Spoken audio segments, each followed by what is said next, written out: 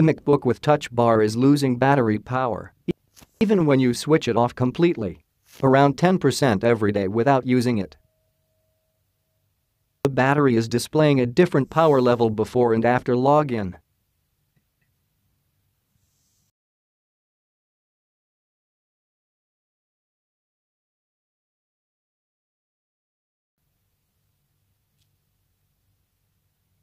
The power connector is getting loose after a few weeks.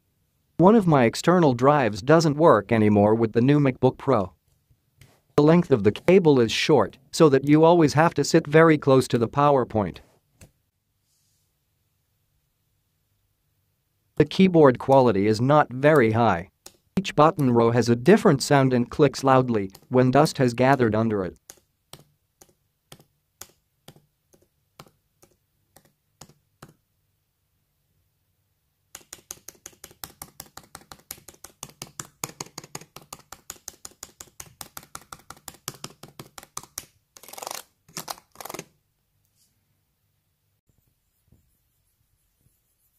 Mouse cursor is not visible sometimes after starting the MacBook.